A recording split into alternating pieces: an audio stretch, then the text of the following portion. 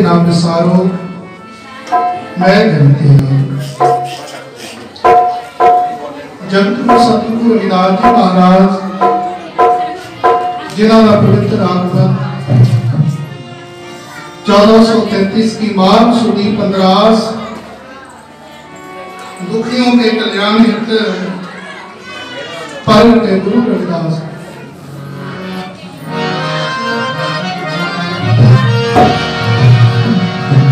ਆਦਰਣੀय ਪਿਤਾ ਸੰਤੋਖਤਾ ਜੀ ਮਾਤਾ ਕਲਸੀ ਦੇਵੀ ਜੀ ਦੇ ਗ੍ਰਹਿ ਸ੍ਰੀ ਗੋਵਰਧਨਪੁਰ ਵਾਰਾਣਸੀ ਵਿਖੇ ਹੋਇਆ। ਤੇ ਗੁਰੂ ਰਵਿਦਾਸ ਜੀ ਮਹਾਰਾਜ, ਜਿਨ੍ਹਾਂ ਨੇ ਬ੍ਰਹਮਾ ਭਰਮਾਂ ਦੇ ਵਿੱਚ, ਕਰਮ ਕਰਨਾ ਦੇ ਵਿੱਚ ਫਸੇ ਹੋਏ ਲੋਕਾਂ ਨੂੰ ਨਾਮ ਜਪਣ ਦਾ ਆਦੇਸ਼ ਦਿੱਤਾ। ਸਤਿਗੁਰੂ ਜੀ ਨੇ ਆਪ ਨਾਮ ਜਪਿਆ, ਸਮੁੱਚੀ ਮਾਨਵਤਾ ਨੂੰ ਇਹ ਉਪਦੇਸ਼ ਦਿੱਤਾ ਹਰ ਕੇ ਨਾਮ ਬਿਨ ਝੂਠੇ ਸੰਗ ਪਾਸਾ ਦੇ। ਭਾਈ ਪਰਮਾਤਮਾ ਦੇ ਨਾਮ ਤੋਂ ਬਿਨਾ ਜਿੰਨੇ ਵੀ ਦੁਨੀਆ ਦੇ ਪਸਾਰੇ ਨੇ ਸਤਿਗੁਰੂ ਜੀ ਕਹਿੰਦੇ ਸਾਰੇ ਝੂਠੇ ਆ, ਕੋਈ ਕੰਮ ਆਉਣ ਵਾਲਾ ਨਹੀਂ। ਪਰਮਾਤਮਾ ਦਾ ਪਵਿੱਤਰ ਨਾਮ ਸਤਿਗੁਰੂ ਜੀ ਕਹਿੰਦੇ ਭਾਈ ਜਿਸ ਘਰ ਦੇ ਵਿੱਚ ਪਰਮਾਤਮਾ ਦਾ ਨਾਮ ਲਿਆ ਜਾਂਦਾ ਹੈ, ਜਿਸ ਘਰ ਦੇ ਵਿੱਚ ਪਰਮਾਤਮਾ ਦਾ ਨਾਮ ਜਪਿਆ ਜਾਂਦਾ ਆ ਉਹ ਘਰ ਮੰਦਰ ਦੇ ਸਮਾਨ ਹੈ। ਤੇ ਆਓ ਅੱਜ ਸੋਚੀਏ ਸੰਤਾਂ ਜਗਤਗੁਰੂ ਸਤਿਗੁਰੂ ਰਵਿਦਾਸ ਮਹਾਰਾਜ ਦੀ ਪਾਵਨ ਪਵਿੱਤਰ ਵਿਚਾਰਧਾਰਾ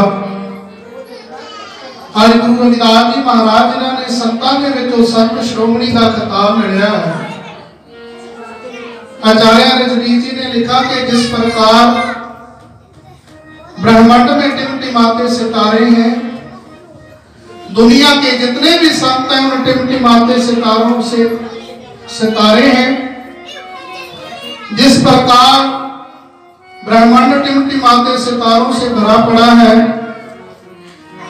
और उन सितारों में एक ही ध्रुव तारा होता है। ध्रुव तारा जिसकी सबसे ज़्यादा रोशनी होती है। ध्रुव तारा जिसके सबसे अधिक प्रकाश होता है। रजनीश जी ने लिखा कि जिस प्रकार ब्रह्मांड में टिमटिमाते सितारे हैं दुनिया के जितने भी संत हैं टिमटिमाते सितारों की तरह हैं। लेकिन उन सितारों में अगर कोई ध्रुव तारा है तो वो गुरु रविदास जी महाराज है। और दूसरे महापुरुषा ने गुरु रविदास महाराज की तुलना ध्रुव तारा के नाम की है। कि गुरु रविदास जी महाराज दुनिया के वह क्रांतिकारी संत हुए ने ਰਜਨੀਸ਼ ਜੀ ਨੇ ਇੱਕ ਗੱਲ ਹੋਰ ਅੱਛੀ ਲਿਖੀ ਹੈ। ਰਜਨੀਸ਼ ਕਹਿੰਦਾ ਹੈ ਕਿ ਮਹਾਤਮਾ ਬੁੱਧ ਦੇ ਚਰਨਾਂ ਦੇ ਵਿੱਚ ਪੜਤਾ ਦਾ ਝੁਕ ਜਾਣਾ, ਮਹਾਤਮਾ ਬੁੱਧ ਦੇ ਚਰਨਾਂ ਦੇ ਵਿੱਚ ਬ੍ਰਾਹਮਣਾਂ ਦਾ ਝੁਕ ਜਾਣਾ ਕੋਈ ਵੱਡੀ ਗੱਲ ਨਹੀਂ ਹੈ। ਮਹਾਵੀਰ ਦੇ ਚਰਨਾਂ ਦੇ ਵਿੱਚ ਬ੍ਰਾਹਮਣਾਂ ਦਾ ਝੁਕ ਜਾਣਾ ਕੋਈ ਵੱਡੀ ਗੱਲ ਨਹੀਂ ਹੈ। ਲੇਕਿਨ ਗੁਰੂ ਰਵਿਦਾਸ ਮਹਾਰਾਜ ਦੇ ਚਰਨਾਂ ਦੇ ਵਿੱਚ ਉਹ ਵੀ ਕਾਸ਼ੀ ਦੇ ਬ੍ਰਾਹਮਣਾਂ ਝੁਕ ਜਾਣਾ ਕੋਈ ਆਮ ਗੱਲ ਨਹੀਂ ਹੈ, ਸਧਾਰਨ ਗੱਲ ਨਹੀਂ ਹੈ। ਤੇ ਗੁਰੂ ਰਵਿਦਾਸ ਜੀ ਮਹਾਰਾਜ, ਜਿਨ੍ਹਾਂ ਨੇ ਕਾਸ਼ੀ ਦੀ ਧਰਤੀ ਦੇ ਉੱਤੇ ਇਹ ਗੱਲ ਖੜੇ ਹੋ ਕੇ ਕਹੀ ਹੈ ਆਪਨ ਬਾਪੇ ਨਾਹੀ ਕਿਸੇ ਕੋ, ਪਾਵਨ ਕੋ ਹਰ ਰਾਜਾ। ਆਓ ਜਰਾ ਝਾਤੀ ਮਾਰੀਏ। ਕਿਹੋ ਜਿਹਾ ਉਹ ਸਮਾਂ ਹੋਵੇਗਾ? ਕਿਹੋ ਜਿਹਾ ਉਹ ਟਾਈਮ ਹੋਵੇਗਾ ਜਦੋਂ ਸਾਡੇ ਲੋਕਾਂ ਦੀ ਪਰਛਾਈ ਤੋਂ ਵੀ ਦੁਨੀਆ ਦੇ ਲੋਕ ਘৃਣਾ ਕਰਦੇ ਸੀ? ਬੋਲਣ ਦਾ ਅਧਿਕਾਰ ਨਹੀਂ ਸੀ ਚੰਗਾ ਖਾ ਨਹੀਂ ਸਕਦੇ ਸੀ ਚੰਗਾ ਪੀ ਨਹੀਂ ਸਕਦੇ ਸੀ ਚੰਗੀ ਤੁਸੀਂ ਗੱਲ ਗ੍ਰਹਿਣ ਨਹੀਂ ਕਰ ਸਕਦੇ ਸੀ। ਤੇ ਗੁਰੂ ਰਵਿਦਾਸ ਜੀ ਨੇ ਕਾਸ਼ੀ ਦੀ ਧਰਤੀ ਦੇ ਉੱਤੇ ਗੱਲ ਖੜ ਕੇ ਕਹਿ ਦੇਣੀ ਕਹਿ ਰਵਿਦਾਸ ਖਲਾਸ ਚ ਮਹਾਰਾਜ ਜੋ ਸਹਿਰੀ ਸੋ ਮੀਤ ਹਮਾਰਾ ਵੱਡੇ ਵੱਡੇ ਰਾਜੇ ਮਹਾਰਾਜੇ ਉਸ ਟਾਈਮ ਦੇ ਗੁਰੂ ਰਵਿਦਾਸ ਜੀ ਦੇ ਚਰਨਾਂ ਵਿੱਚ ਐਵੇਂ ਨਹੀਂ ਆਂਦੇ ਉਹਨਾਂ ਦੇ ਚਰਨਾਂ ਦੇ ਵਿੱਚ ਉਸ ਟਾਈਮ ਦੇ ਸਾਰੇ ਹੀ ਰਾਜੇ ਮਹਾਰਾਜੇ ਇੱਕ ਦੋ ਦੀ ਗੱਲ ਨਹੀਂ 52 ਦੇ 52 ਰਾਜੇ ਉਸ ਟਾਈਮ ਦੇ ਝੁਕ ਜਾਣੇ, ਚਾਰੇ ਵਰਨਾਂ ਦੇ ਲੋਕ ਗੁਰੂ ਰਵਿਦਾਸ ਦੇ ਚਰਨਾਂ ਦੇ ਵਿੱਚ ਝੁਕ ਜਾਣੇ, ਕੋਈ ਸਧਾਰਨ ਗੱਲ ਨਹੀਂ ਹੈ। ਤੇ ਗੁਰੂ ਜੀ ਕਹਿੰਦੇ, ਭਾਈ, ਰਵਿਦਾਸ ਬ੍ਰਾਹਮਣ ਮਤ ਪੂਜੀਏ ਜੋ ਹੋਵੇ ਗੁਣਹੀਨ, ਪੂਜੀਏ ਚਰਨ ਚੰਡਾਲ ਕੇ ਜੋ ਹੋਵੇ ਗੁਣ ਪ੍ਰਭੂ ਸਾਹਿਬ ਜੀ ਨੇ ਉਚਾਰਨ ਕੀਤਾ ਕਿ ਭਾਈ ਗੁਣਵਾਨ ਵਿਅਕਤੀ ਕਿਤੇ ਵੀ ਚਲਿਆ ਜਾਵੇ, ਉਹਦੀ ਉੱਥੇ ਪੂਜਾ ਹੋਣ ਲੱਗ ਪੈਂਦੀ ਹੈ।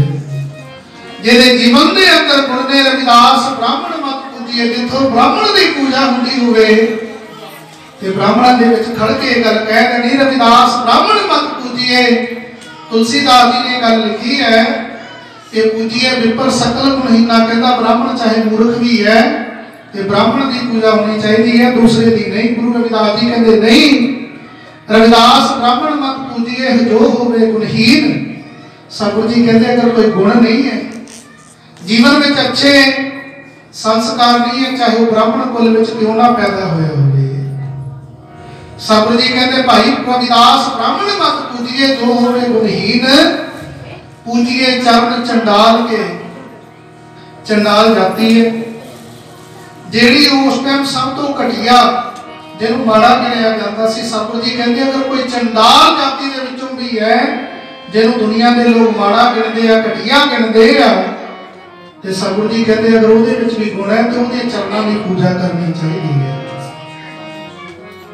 ਆਓ, ਅੱਜ ਜ਼ਰੂਰਤ ਹੈ ਗੁਰੂ ਰਵਿਦਾਸ ਮਹਾਰਾਜ ਦੀ ਬਾਣੀ ਨੂੰ ਪੜ੍ਹਨ ਦੀ। ਜ਼ਰੂਰਤ ਹੈ ਸਾਡੇ ਗੁਰੂਆਂ ਨੂੰ ਅੱਜ ਜਾਣਨ ਦੀ ਕਿ ਗੁਰੂ ਰਵਿਦਾਸ ਜੀ ਕਿੰਨੀ ਉੱਚ ਕੋਟੀ ਦੇ ਸੰਤ ਹੋਏ ਨੇ। ਉਹ ਮਹਾਨ ਸ਼ਖਸੀਅਤ, ਜਿਨ੍ਹਾਂ ਦਾ ਕੇਵਲ ਅੱਜ ਭਾਰਤ ਵਰਸ਼ ਵਿੱਚ ਹੀ ਨਹੀਂ, ਇੰਗਲੈਂਡ ਦੀ ਪਾਰਲੀਮੈਂਟ ਵਿੱਚ, ਇੰਗਲੈਂਡ ਦੀ ਯੂਐਨਓ ਵਿੱਚ ਗੁਰੂ ਰਵਿਦਾਸ ਜੀ ਦੀ ਜਯੰਤੀ ਮਨਾਈ ਜਾਂਦੀ ਹੈ।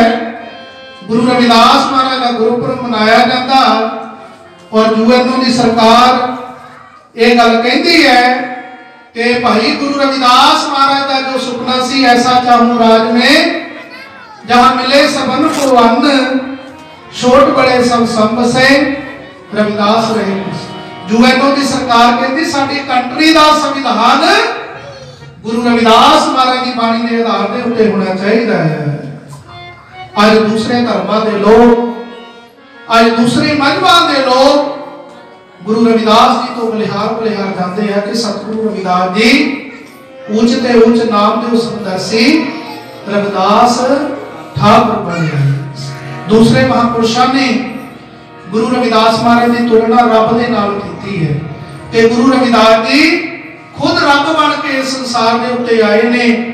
ਖੁਦ ਰੱਬ ਬਣ ਕੇ ਇਸ ਸੰਸਾਰ ਦੇ ਉੱਤੇ ਆਏ ਨੇ।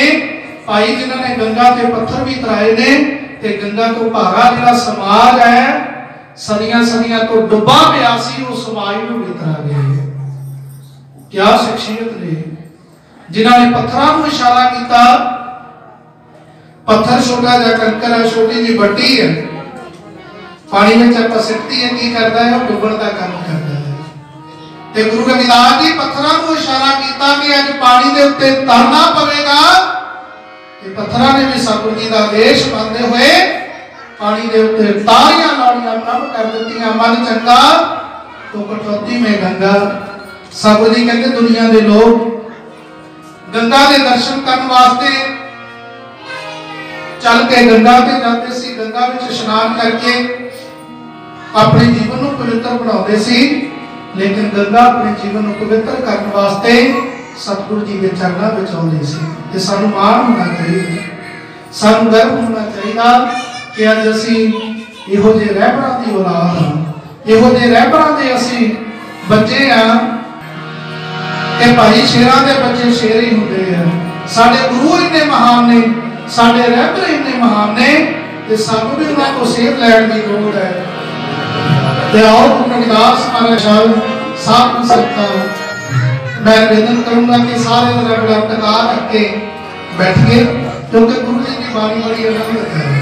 ਲੇਕਿਨ ਆਨੰਦ ਉਦੋਂ ਆਵੇਗਾ ਜਦੋਂ ਜੀਵਨ ਦੇ ਵਿੱਚ ਉਸ ਨੂੰ ਵਸਾਵਾਂਗੇ, ਜਦੋਂ ਗ੍ਰਹਿਣ ਕਰਾਂਗੇ, ਬਰਸਾਤ ਹੋ ਰਹੀ ਹੈ ਬਰਸਾਤ ਦੇ ਵਿੱਚ ਕੋਈ ਬਰਤਨ ਰੱਖ ਦਿੱਤਾ ਜਾਵੇ ਬਾਹਰ ਤੇ ਉੱਪਰੋਂ ਬੰਦ ਕਰ ਦਿੱਤਾ ਜਾਵੇ, ਢੱਕਣ ਰੱਖ ਦਿੱਤਾ ਜਾਵੇ ਤੇ ਜਿੰਨੀ ਮਰਜ਼ੀ ਬਰਸਾਤ ਹੁੰਦੀ ਰਹੇ, ਭਰ ਨਹੀਂ ਸਕਦਾ। ਕਿਉਂਕਿ ਜਿਸ ਦਵਾਰ ਥਾਣੀ ਪਾਣੀ ਪ੍ਰਵੇਸ਼ ਹੋਣਾ ਸੀ, ਉਹ ਬੰਦ ਹੈ। ਸਬਰ ਜੀ ਕਹਿੰਦੇ ਜਬ ਹਮ ਹੋਤੇ ਅਬ ਤੂੰ ਨਹੀਂ, ਅਬ ਤੂੰ ਹੀ ਮੈਂ ਨਹੀਂ। ਜਦੋਂ ਤੱਕ ਮੈਂ ਸੀ, ਉਦੋਂ ਤੱਕ ਤੂੰ ਨਹੀਂ। ਜਦੋਂ ਫਿਰ ਮੈਂ ਖਤਮ ਹੋ ਜਾਂਦੀ ਹੈ, ਫਿਰ ਜੀਵਨ ਵਿੱਚ ਤੂੰ ਹੀ ਤੂੰ ਤੇ ਆਓ ਸੰਗ ਸੰਗਤਾਂ ਸਭੂ ਜੀ ਦੀ ਪਾਵਨ ਪਵਿੱਤਰ ਬਾਣੀ ਦਾ ਸ਼ਬਦ, ਆਓ ਸੰਗ ਸੰਗਤਾਂ ਮਿਲ ਕੇ